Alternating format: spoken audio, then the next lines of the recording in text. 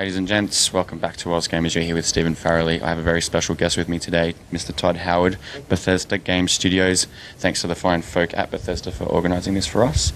Um, Todd, obviously, buzz of the show. I saw it in Utah. Um, two dragons at the end this time.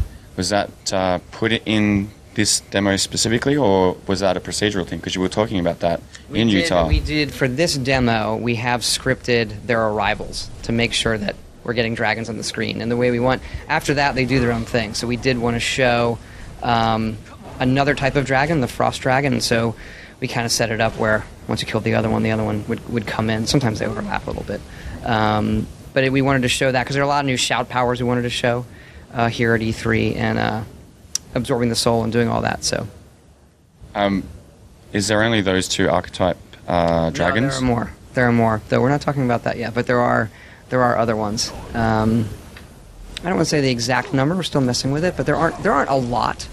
Um, but there are more. Yeah. Um, now let's step it back a bit. I want to talk a bit about Creation Engine. Um, now you guys have been demoing the game on 360. Mm-hmm.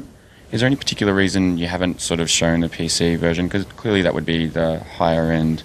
Yeah, it does. Obviously, the PC version looks better. You know, it has higher textures. It can run much higher resolution. A lot of other uh, graphical features. We tend to show it on 360 so that um, there's a good baseline for people to look at, so that when they then see the PC version, it's going to go up. We'd rather do that than just people see the 360 later and it takes a step down.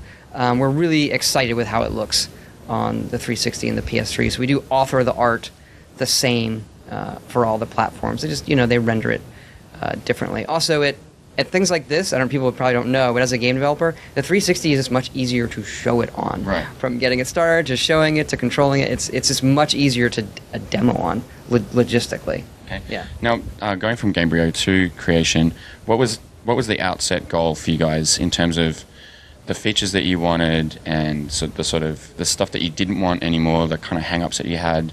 What's what was the process going forward?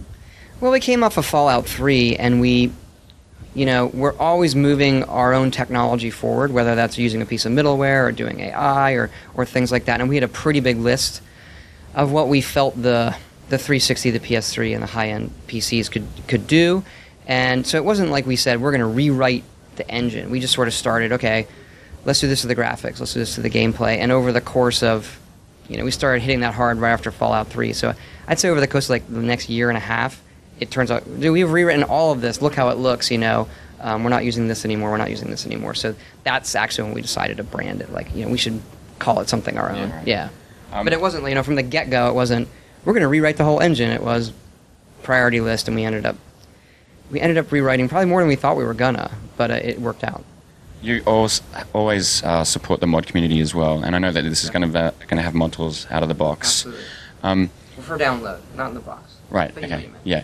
Um, feel like get their box and they're like, what the fuck? But have you guys thought about um, obviously, and obviously the PC community kind of enjoys that a lot. But Yeah. have you thought about sort of giving that access, that level of have, access to yeah. the consoles? I, um, I think like our PC mod community, that is one of the things that's great about our games. You know, um, we've always supported it. We want to continue to do it.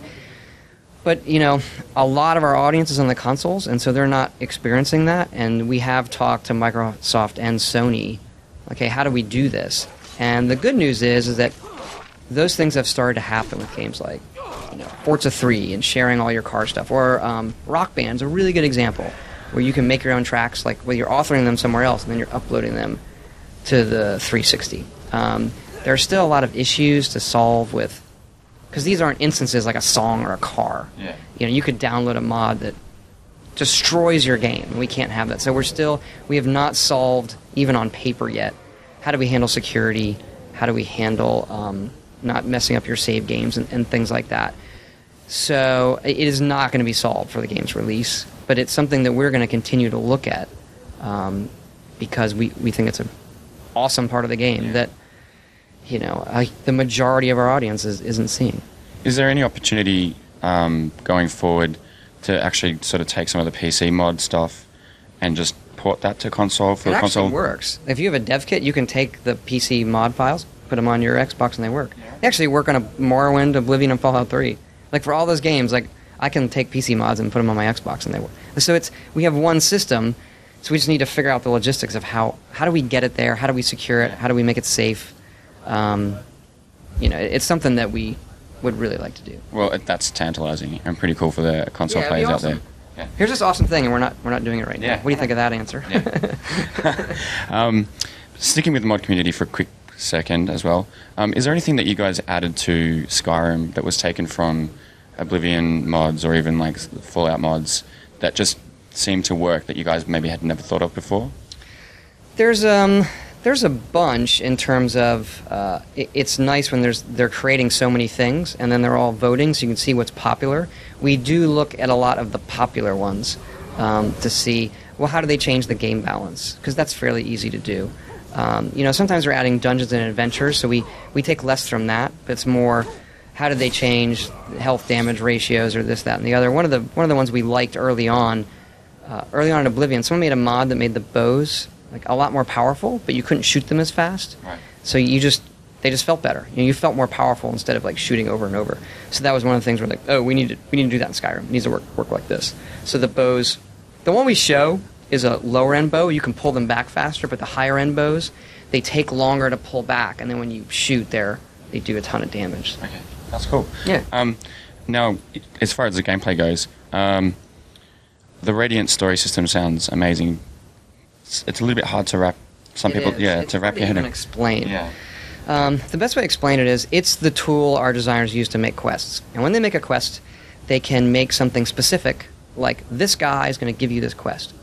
So every part of the quest, we call them roles. The people in it, the places, the items, those are all roles that the designer can fill out, either specifically or then conditionalize. Like as opposed to saying, I want this guy, you can say, I want a guy in town who likes you a lot. Or I want a dark elf in town who hates you. Or I want a dark elf tavern owner who doesn't know you. Like you can conditionalize all of those roles, and you can look at what the player's done. So you can say, um, "I'm going to give you this quest." A good example is I'm going to give you this quest, and usually it takes place at this other dungeon to get this item. Well, I am through the quest is going to change the role of that dungeon, conditionalize it for you know you haven't fought um, you haven't fought high level undead in a while. Is there a dungeon nearby that has high level undead? Can I? I'm going to put the, the item there, and the guy says instead of pointing to that dungeon, he points you to that dungeon. Those those kinds of things, um, if that makes sense. But it, even for us, it was hard to wrap our heads around. We just built the system, and then we messed with how we were going to use it. Um, and now it's it's you know honestly it's kind of a light touch in the game. We, we don't want people to notice it. Right. Is there, is there a reason that you felt compelled to sort of, I guess, guide players to areas that they hadn't been to or anything like that? Is it just so, so that they can sort of see all the assets that you've put into it? Well, we want to try to make things more interesting, but we were inspired by in Fallout 3, we wrote this big script that would generate random encounters. And so when you walk down roads, sometimes you get encounters, and we conditionalize the script for what you had done.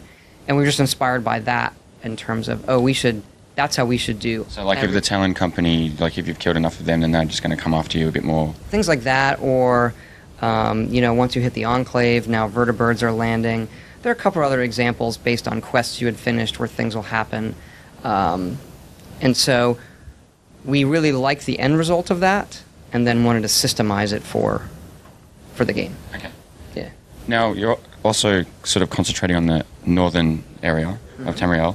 Um, and obviously, the Nord race is really sort of tied into this, and that's the guy that you've been showing off.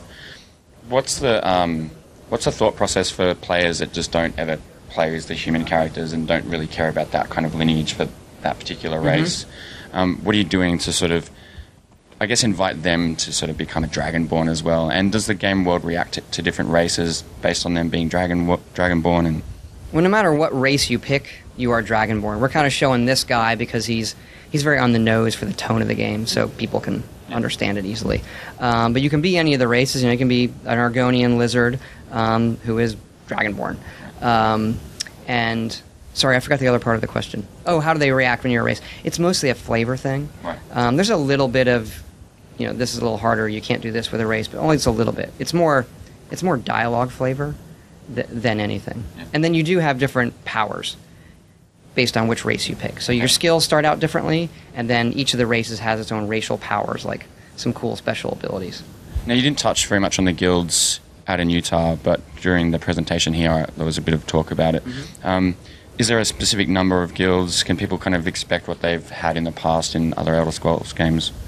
Well, the three that we're talking about and the three we're focused on are the companions for the warriors, the thieves guild for thieves, and the college of winterhold for mages, because those are the three main archetypes that, that we want to pay off on.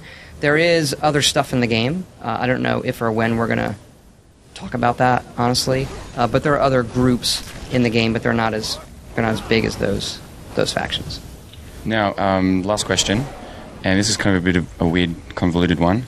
Um, so, there was. I, I know you can't talk about DLC, but based on what has come before, Sure. it's definitely going to happen. Um, Fallout 3 and uh, I guess New Vegas are both really good examples of this. At the end of the game, if you finished it and you got like DLC, you couldn't go back and just replay. Sorry, when you finished the game before the DLC came out, you couldn't just go back and continue Right. to explore. Are you guys going to lock the player out if they complete this game? No. No? No, that was a mistake. Yeah. Yeah. We were really confident about that. Then the game came out and we heard pretty loud and clear that was not what they wanted. So we're not going to do that again. No, no. You'll definitely be able to. When you finish the main quest, you can just keep playing. And uh, you mentioned DLC. We would like to do DLC. We don't have specific plans yet. Um, but we, they've been really successful, and we, we like making them.